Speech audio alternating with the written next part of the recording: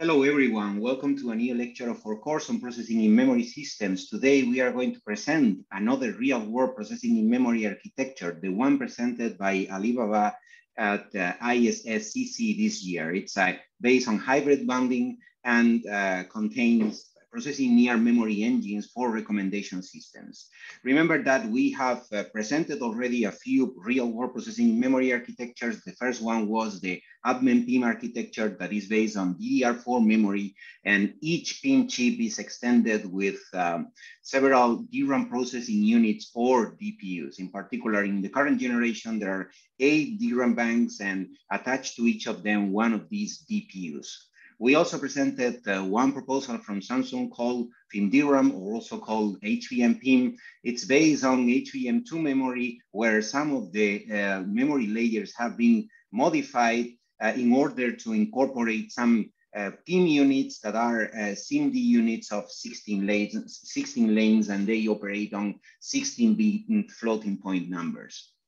Another uh, similar architecture Uh, that we presented as well, proposed by SK Hynix, is this accelerator in memory that is based on GDDR6 memory. As you can see on the slide, there is uh, one processing unit connected to each memory bank. And these processing units contain multipliers and adder tree. And also um, they have the ability to uh, uh, execute different activation functions based on lookup tables. Another interesting innovation in this architecture is that it includes a, a supplementary SRAM buffer that is called the global buffer of size two kilobytes that is useful to move uh, data around between processing units and between banks. And more recently, in your last lecture, we presented another proposal from Samsung that is called AXDIMM. In this case, it's a DIMM-based processing in memory system that has been prototyped and tested for recommendation systems. As you see in this slide, it's um, uh, a DIMM, uh, AXDIMM is a DIMM with a standard DIMM interface and two ranks of uh, memory chips and an FPGA fabric, a reconfigurable fabric, where we can implement different types of accelerators. In particular, uh, this um, uh, work uh, presented the, the, the, accelerator for recommendation systems. We are also going to talk today as well about the recommendation systems because that's the main target of this Alibaba 3D, 3D logic to DRAM hybrid bonding with processing near memory engine. And this is the paper, as I said before, presented in ISSCC this year um, in February. And uh, the motivation of this paper, as you can imagine, is the memory wall, the data movement bottleneck that we have uh, discussed several times in this course or over the whole uh, course indeed. Um, memory bandwidth is not enough for many machine learning workloads and um, in the paper, they uh, point to several important applications like natural language processing, recommendation systems, graph neural networks, or multitask online inference. Uh, the paper also presents an interesting processing in memory classification that reminds me the classification that we have in our uh, book chapter that we uh, have mentioned uh, also several times in this course and discussed uh, with a little bit of detail the, in the very first lecture of this course. Um, according to uh, this paper, there are different types of processing in memory systems. The first one of them is the traditional um, that the traditional system that cannot be considered processing in memory, of course, where we place uh, CPUs, but also GPUs and FPGAs. As you may know, GPUs and FPGAs these days are starting to um, replace conventional uh, DDR memories with uh, HBM memories that provide uh, much higher bandwidth. And that's what the paper calls 2.5D PNM. And here we can uh, place as well uh, recent F, uh, GPUs and also FPGAs. Um, if we think or we talk about the uh, processing in memory systems themselves, uh, these um, UPMEM PIM architecture could be placed here in this 2D uh, processing near memory where the uh, processing in memory capabilities are inside the memory chip itself. And also here, we can place AIM from SK Hynix.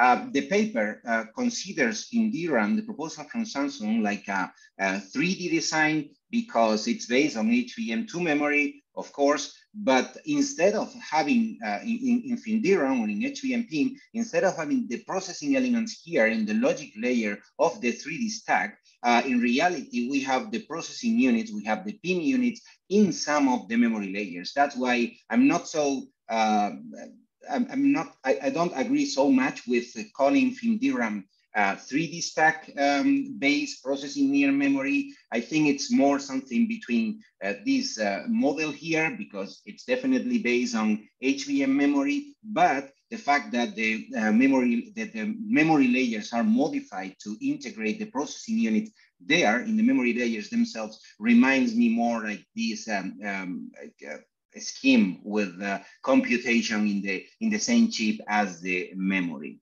Uh, in this classification, we are missing something that is uh, based on a DIMM or um, placing the processing units near the ranks like uh, AXDIMM. I don't think it's uh, uh, well represented in this classification. That's why I'm placing it somehow in here between 2D and 2.5D, even though I don't think it's um, any of both. And finally, uh, the proposal from Alibaba is uh, exactly here in, in this um, hybrid bonding based processing near memory. And the last thing, and, and, and we haven't talked about this in this course yet in detail because there are no, let's say, real world architectures or at least commercially available architectures are what uh, in the paper they call 2D computing memory, but in this course we have called it processing using memory. And there are uh, different proposals here. NVM, uh, NVM based PIM is one example of, uh, of this uh, type of processing using memory, but also DRAM based proposals. For example, the uh, referencing DRAM that we will present and discuss later uh, in this course. And this is the classification in our uh, book chapter that is uh, available, as you know, in, in arXiv and uh, definitely very much recommended reading for everyone interested in processing in memory. But now let's talk about the, this uh, HB-PNM architecture from uh, Alibaba. Um, interesting uh, a special characteristic of this architecture is that it's based on a logic die and a DRAM die that are vertically bonded uh, by a technique called hybrid bonding. As you see it in the slide, it looks something like this. We have one layer of DRAM, we have one layer of um, uh, this uh, logic die for uh, logic uh, processing elements. Uh, the uh, DRAM die is composed of these DRAM cores of one gigabit. And in the logic die, as we will discuss, we have two main types of engines. One is called the neural engine. The other one is called the match engine. And they are targeted at different steps of the recommendation system. Uh, you can take a look at this cross-section illustration that I think it's uh, very clear about how this uh, chip is uh, created. We have the logic die at the bottom, we have the DRAM die uh, at the top, and uh, in between the, we have the hybrid bonding. We are going to uh, talk a little bit more in detail about this hybrid bonding later, but um, first of all, let's uh, continue introducing the architecture and let's also recap a little bit on recommendation systems because they are the main target of this architecture. In recommendation systems, as, um, as you may know, there is, there is one first step where the um, features of either the, the uh, data and the database and the query, um, uh, the data in the queries uh, are extracted. But once we have these features, we go to the recommendation system itself that first of all performs something called coarse grain matching to select some candidates and then classifies the more important or ranks the more important uh, candidates or the more representative candidates in the second step called fine grain ranking. Uh, these two steps are mainly executed on the match engine, the coarse grain matching on the match engine of the HB-PNM architecture and the fine grain ranking, or at least one uh, important step of this fine grain ranking in the neural engine as we will see. We're going to talk in detail about this architecture, but let me very briefly remind you um, the, a few things that we talked uh, in our last lecture about recommendation systems. Um, as I mentioned before, in a recommendation system, we will first have the feature generation for classification, object detection, and feature extraction. This um, step is usually compute bound according to the um, uh, paper from Alibaba. So that, that's why it's usually a good fit for GPUs.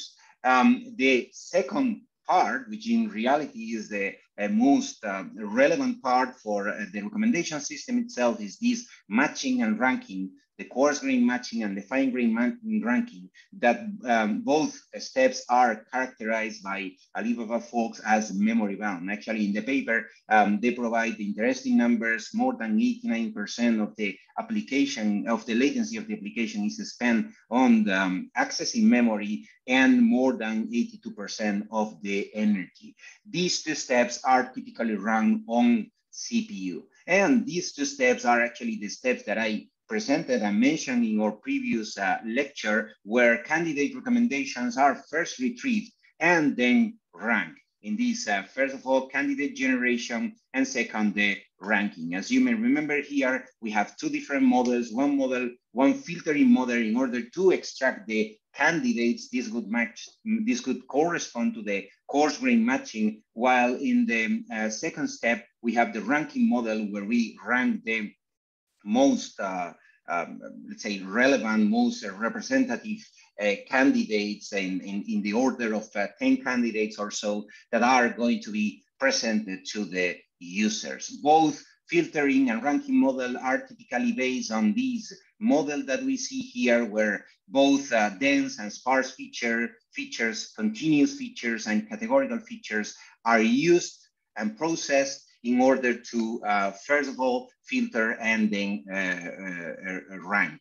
Um, this model is based on the uh, deep learning recommendation model proposed by Facebook in 2019. And you may remember this slide as well, um, where we talk a little bit more about the DLRM recommendation system from um, uh, Facebook. Uh, here we see the dense features, these continuous inputs, these continuous features that are typically processed by DNN layers, like for example, multi-layer perceptron, fully connected layers, and according to um, the analysis in previous papers is like computation dominated, is that compute bound um, step, while the sparse features uh, for categorical inputs are processed by indexing large embedding tables. Uh, actually, these um, um in, embedding uh, operations uh, consist of lookup and pooling operations um, to the uh, embedding tables and um, they typically follow a gather reduce pattern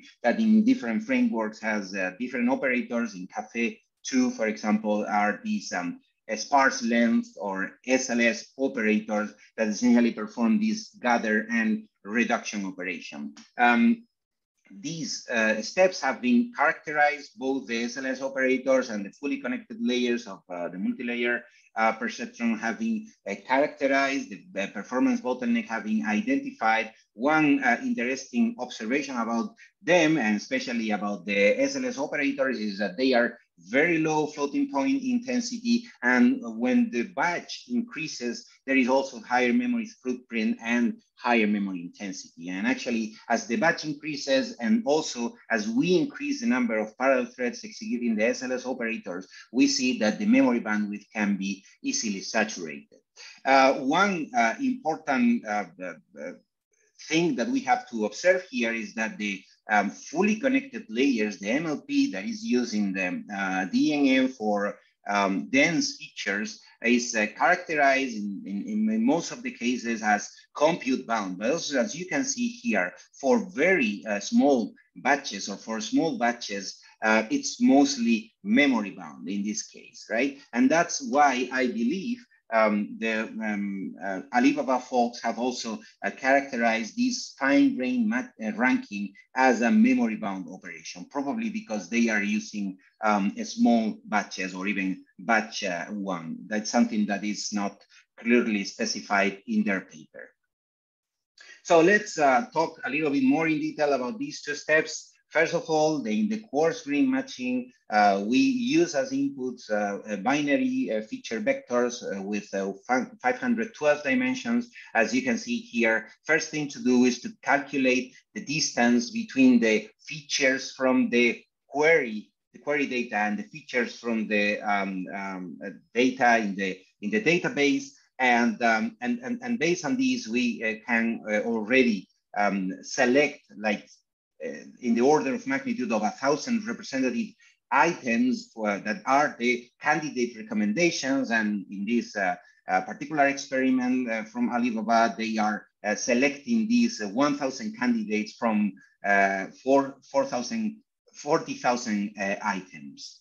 After we have done this first coarse grain matching, we go to the fine grain ranking or the fine grain matching where uh, first of all, uh, the, the, features are in this case are uh, 8 bits and they have 1024 dimensions. As you can see, these features are fed to the um, um, multi-layer perceptron of three layers in order for the similarity prediction. And after that, we reduce uh, the number of candidates from a 1,000 to a 100 that are also ranked. As you can see, because it's also indicated here in the figure, these and these steps are executed on the uh, match engine that we are going to describe next. This step is also executed in the match engine, while this one is executed on the neural engine uh, that is like um, uh, the, the engine that is uh, designed for acceleration of the uh, MLP as we are going to see. So let's talk with a little bit more detail about this uh, 3D logic to DRAM hybrid bonding. Uh, first of all, you have already uh, seen this slide. Remember that this architecture is composed by a DRAM die and a logic die. Uh, these two are fabricated, manufactured uh, independently. The um, uh, DRAM wafer and the logic wafer are um, manufactured independently and then they are rotated face down and glued in some way, uh, bonded by using this uh, hybrid bonding. Uh, some important characteristic of this uh, hybrid bonding is that it's the um, uh, um, copper to copper direct uh, fusion that is down at low, really low temperatures, below 350 um, um, degrees. And um, one interesting characteristic and advantage of this uh, technique over other 3D, stat, 3D stacking technologies is that it allows us to have uh, way lower pitch size uh, compared, for example, this uh, three micrometer to the uh, typical pitch size in HBM memory, uh, 35 micrometers. And this low pitch allows us to have much higher bandwidth between the layers. And that's uh, why you can compare this 1.32 terabytes per second to these uh, 460 uh, gigabytes per second in um, HBM2E. Here you have uh, some photographs of the uh, die and the logic die where you can uh, see the neural engine region and you can also see the uh, match engine region. Um, as you can see, they uh, both run at a relatively low frequency, 300 megahertz, but that's kind of a, a relatively common uh, frequency in processing in memory architectures as we have seen in previous lectures as well. So let's go a little bit more in detail uh, with the architecture of this uh, HB-PNM. First of all, the DRAM die. This DRAM die, as you can see um, on the slide, is composed by six by six, by this um, grid of six by six uh, DRAM cores of size one gigabit.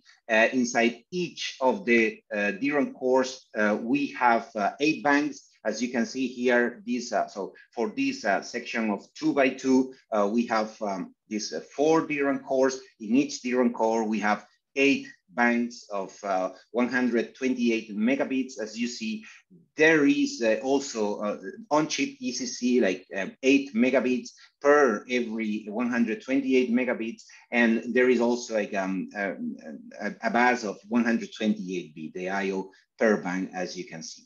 In the logic die, uh, the corresponding, I mean, uh, underneath these uh, four blocks of uh, DRAM, what we find is um, these um, uh, neural engines and match engines that they can access uh, the DRAM cores through the corresponding memory controllers and um, physical interface, as you can see uh, in the figure. Uh, it's uh, interesting to highlight here that the HV, the hybrid bonding, imposes uh, design constraints on the location of the memory controllers and the physical interface, as, as you can see. So we have to, when, when placing one DRAM, the DRAM layer on the logic layer, um, obviously this um, uh, area here should match where this other area here in the DRAM uh, core uh, is, right? And here is where we have the row buffer and also where we have the uh, control uh, for accessing rows and columns in the uh, DRAM uh, banks.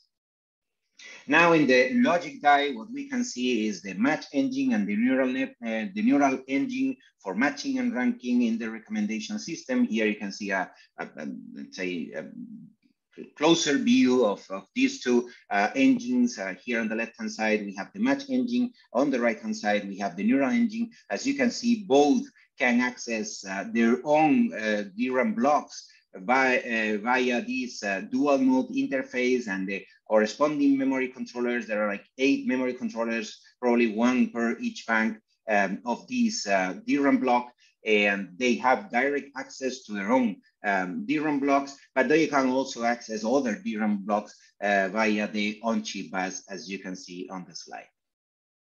Regarding the dual mode interface, it's called dual mode because it allows the um, engines to either access a single channel, one of the eight banks, or the eight banks in lockstep in order to achieve full bandwidth. And, um, and you can see here that it's composed by several input and output uh, FIFO queues, multiplexers, and controllers. And here you can see a, a closer view of this um, um, dual mode interface um, for with support for single channel model, uh, mode and, and lockstep mode and um, read uh, and write counters as well to support the burst requests and, and as you can see here in the in the control unit.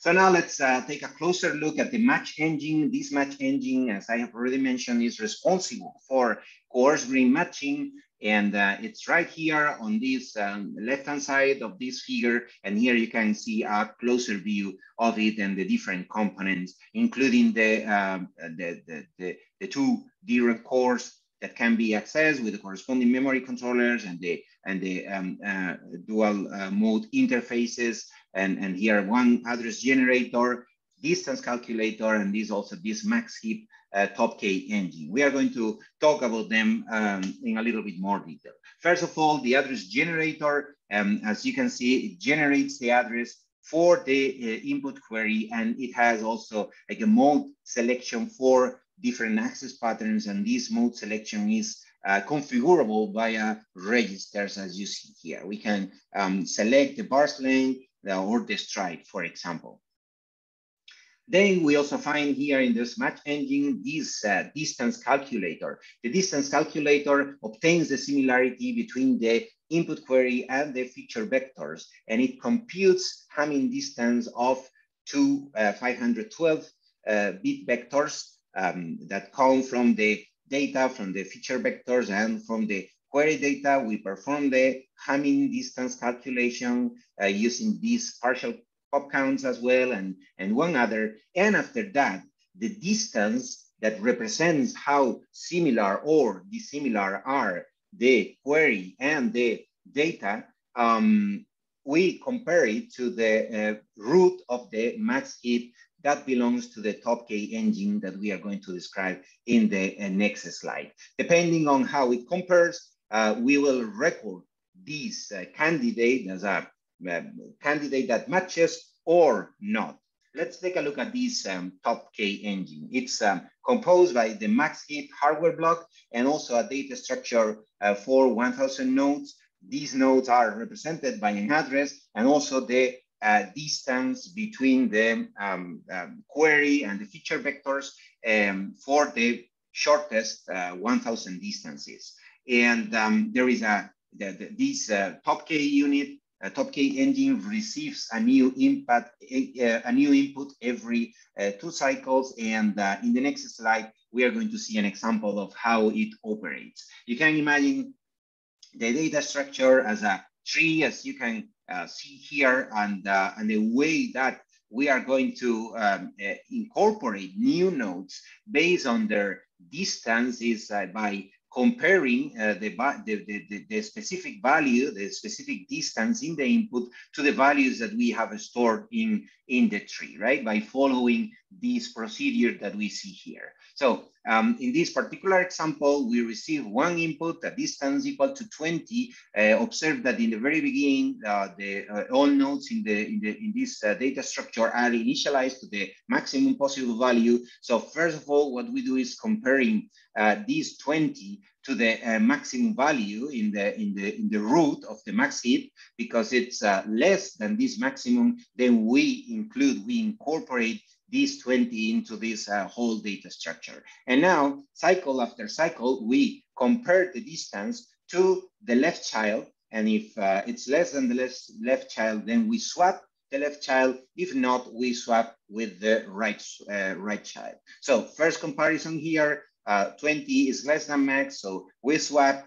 Um, here again, we, we compare 20 to max, so we swap. At this point, we receive another input. Remember that uh, the K engine receives a new input every two cycles. So now the input is um, equal to four. Again, we compare to the uh, root of the uh, max heap and then we uh, swap as needed. So perform comparison here, we swap at the same time. We can also perform this comparison uh, 20 compared to this max. So we'll also have to swap and so on and so forth.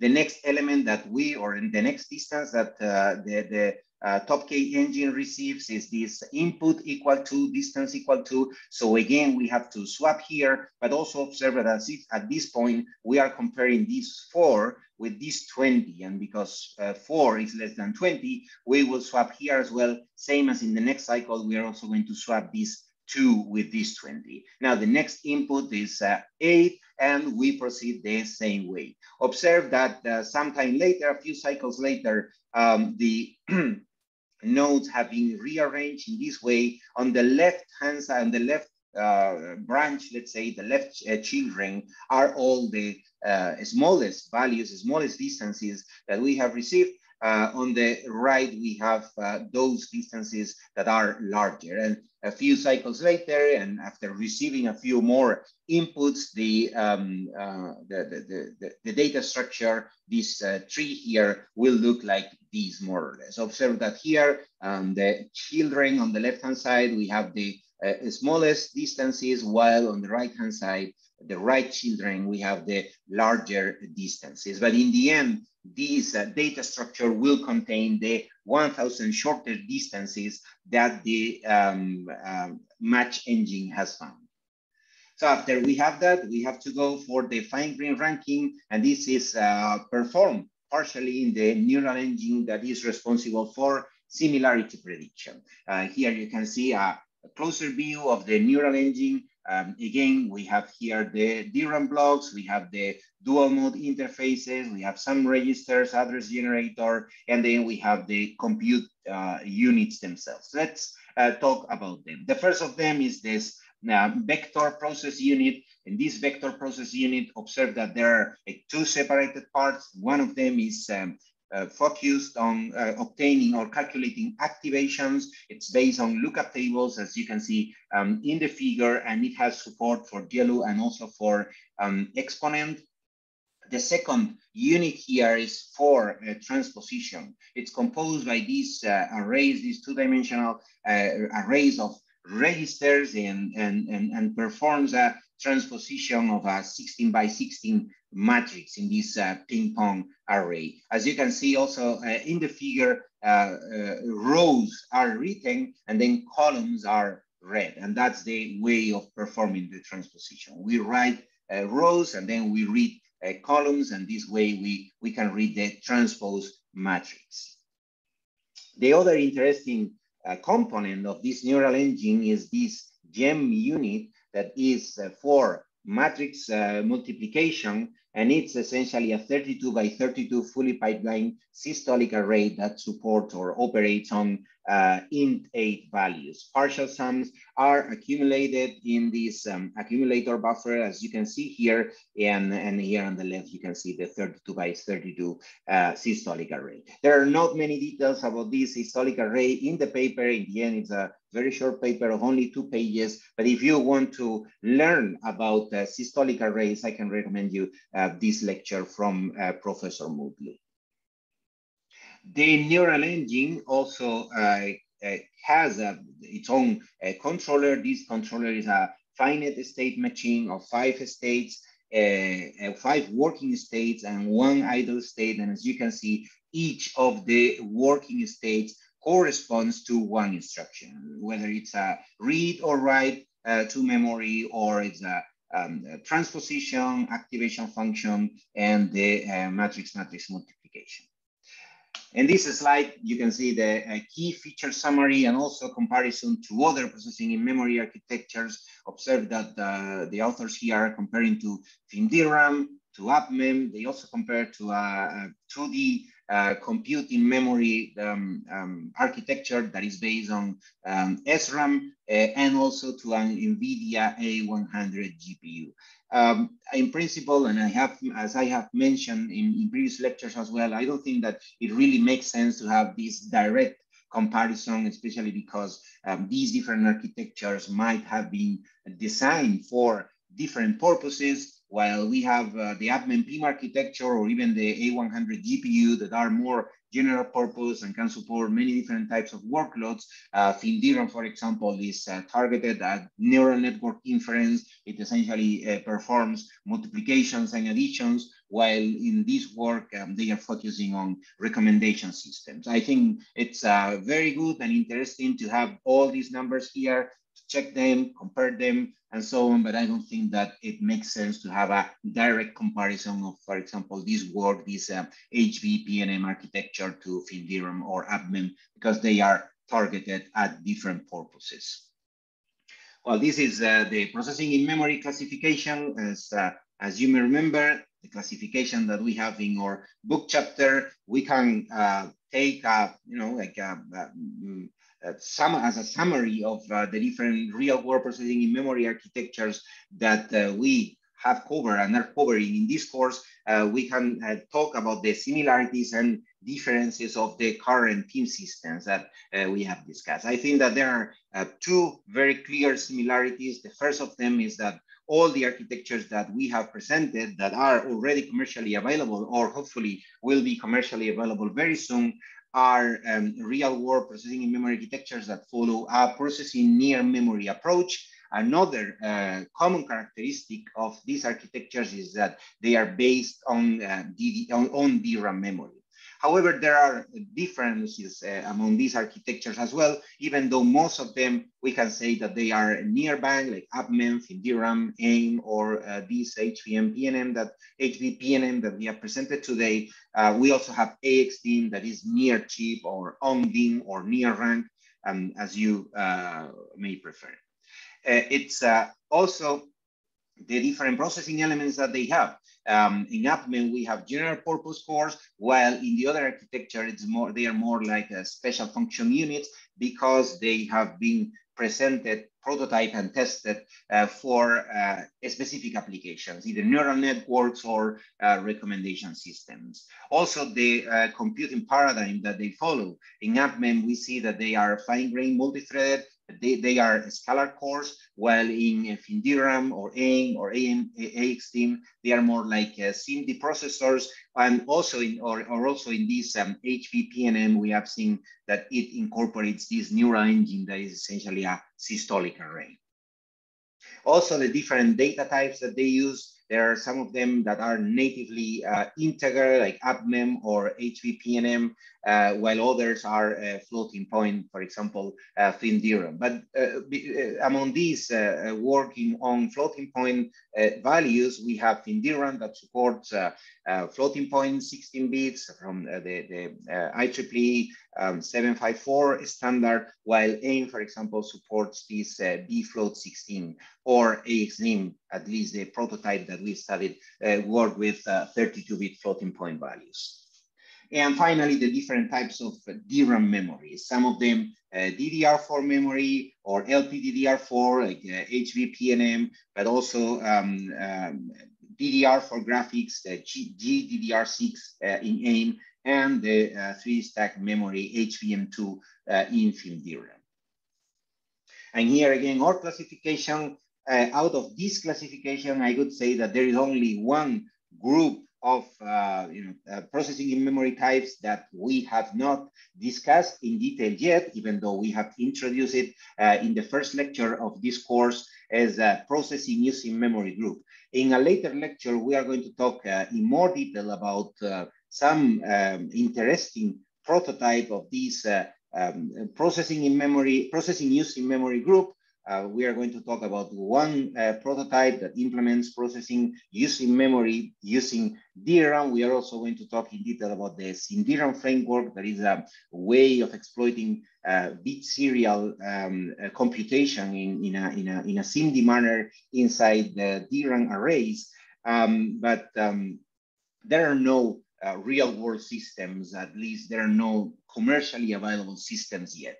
The closest thing to reality was presented uh, a couple of years ago in the Micro 2019, a little bit more than two years. It's this compute DRAM work that is uh, extremely interesting because they were able to execute some processing using memory operations using off-the-shelf uh, DRAM. Um, in order to do so, they uh, used an FPGA-based memory controller that uh, is um, from the Safari group. By using this FPGA-based memory controller, they are able to uh, change the timing parameters, the way that the DRAM chips are accessed, and uh, by doing so, they were able to um, somehow uh, uh, execute row clone operations that are for copying entire rows um, in, in in, inside the same uh, memory subarray, one uh, source row to one destination row, and also they were able to perform uh, logic operations in an ambit style, as um,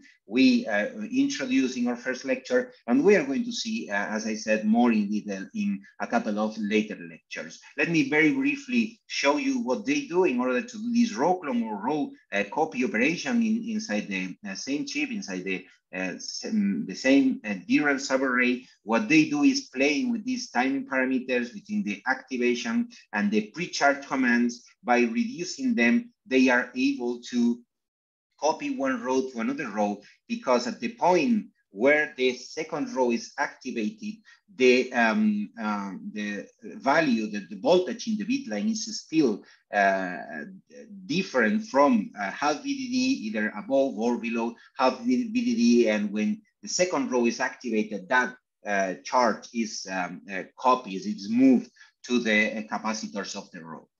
Um, they were also able to perform in some of the chips bitwise AND and bitwise OR operations in the bitwise, bitwise AND, for example, what they do is like uh, shortening uh, all the, this um, uh, latency between activate and pre-charge uh, very much. And by doing so, uh, one third row is, so when they are switching from one row to another row, one third row is uh, activated because its address appears in the address bus. Um, we are going to see in uh, a little bit, so in, in, more detail in a later lecture. That's why I don't want to spend uh, so much time today. Uh, but definitely super interesting work. As you'll see, we will discuss the experimental methodology as well, where they use the uh, FPGA with the uh, SoftMC hardware and, uh, and also a Peltier plate heater in order to change the temperature of the uh, DRAM chips. They tested like um, 32 DDR3 modules, around 256 uh, DRAM chips, and they um, show, uh, they explain in their paper how they perform. Um, they, they, they experiment with the different um, DRAM modules uh, using SoftMC. Uh, first of all, they selected a random subarray, they filled the subarray with random data, then they uh, perform these uh, activate, pre-charge, activate commands uh, with given um, uh, latencies of T1 and T2. They play with these latencies and, and see uh, what happens in the uh, subarray, what happens in the destination rows, if whether the uh, copy operation really happened or whether the ambit, the, the, the, logic and or the logic or operation really happened. And they show in their uh, work um, uh, their, their, observations. Um, as you see in these um, different figures here, they are uh, presenting for uh, chips from different vendors. They are presenting what are the combinations of latencies T1 and T2, where they uh, were able to perform either raw copy operations or also these uh, logic operations as well. Not in so many uh, chips, as you see, but these was these ones from SK Hynix as well were able to support these uh, logic operations. As I said, uh, we are going to talk in way more detail about this uh, proposal and actually presenting one uh, prototype that uh, we have developed in our group. In the future, I also expect that we will see many more works combining both ideas of processing near memory and processing uh, using memory. And actually last year, we already presented a very interesting work for acceleration of uh, graph mining algorithms in processing in memory systems with processing near memory and processing using memory is the SISA paper that um, yeah, you can uh, find in this slide, also uh, including a link to the paper if you want to uh, learn and read more about this proposal. And this is all for today. Uh, we will continue next Thursday with a new lecture of our processing in memory course. There is a, a, lot more to come. As I mentioned, processing using memory architectures, frameworks, and prototypes, but we will also uh, describe in uh, uh, more detail specific case studies. For example, um, the sparse matrix vector multiplication, which is an important primitive for many, many uh, applications. It's also like a um, clearly memory-bound application in processor-centric systems. Uh, we will discuss our implementations of SpMV on the PIM architecture, and we will also um, uh, talk about other case studies, like for example, neural network accelerators for the edge, based on processing in memory, same as um, uh, accelerators for HTAP databases. And uh, we will uh, finish this course discussing additional challenges that still need to be solved for the adoption uh, of uh, processing in memory in uh, real world systems. So that's all for today. I really appreciate your attention. Um, thank you very much. Hope to see you in, um, in future lectures as well. Bye bye.